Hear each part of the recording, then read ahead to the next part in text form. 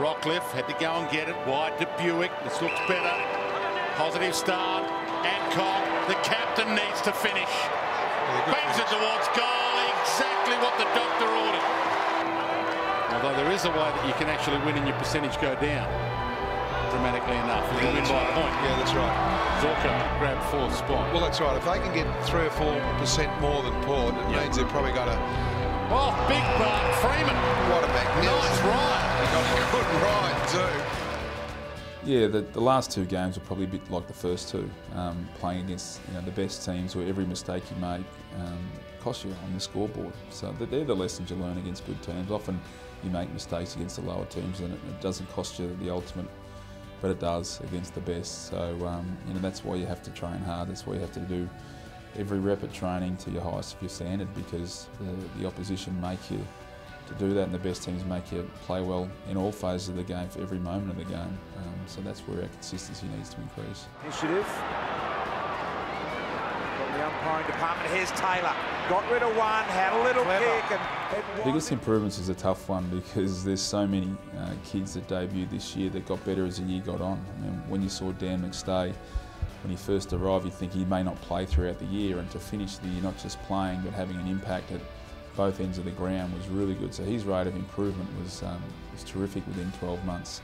Obviously, Lewis Taylor and James Aish, Darcy Gardiner was very consistent throughout the whole season. So, um, and to get sort of Jordan Burke in there very late in the year, he showed a lot of composure in his one and only game for the year at the end as well. So that, that's great. And I, I even think some of the players that have been here a few years, their improvement, Dayne Zorko's year, um, to me, he was terrific in pre-season and took another step and ended up playing midfield by the end of the year and getting high numbers. Rohan Bewick started the season out of the team and came into the team and became a very good player for us, as did Ryan Harwood. So there's a lot of players even that have been here a few years that, it, that I think that sort of you know bolsters the, and thickens up our list. I really think that that, that was a, a really important part as well. That we've got some players that have been here for a while on the edge that uh, became regular members by the end of the year. Here they go through the middle. Adcock dabs it. It's Aish. He gathers himself. He gives it to from 35 metres. That could be just You about can it. Reel off a lot of names this year with players that have improved. So that is the, the pleasing sign for the football club that um, our graph is going the right way whilst we're not winning the ultimate prize yet and not even getting into the, the finals race. At least our players are improving and that's a good sign for the future. Favour of Brisbane. This is where the game's turned around. They march forward again. Moloney goes for broke. Yeah, I obviously didn't get spent enough time with Trent.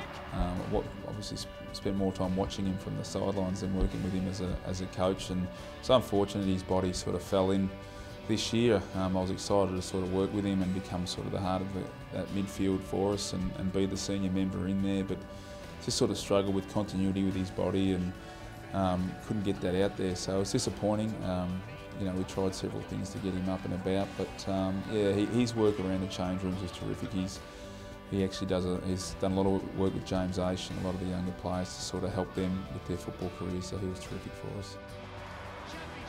Well, actually, sort of, it's you know, it's a bit of a sad day to lose one of our.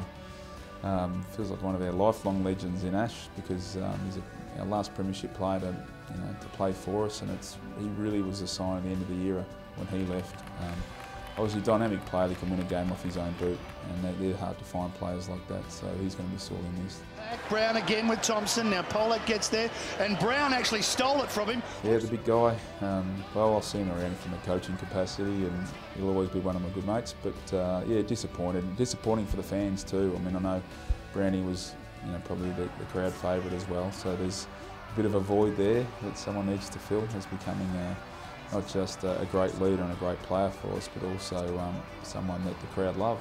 Um, you know, I'm going to miss seeing as well. So disappointing from a club uh, perspective to lose a big guy as well.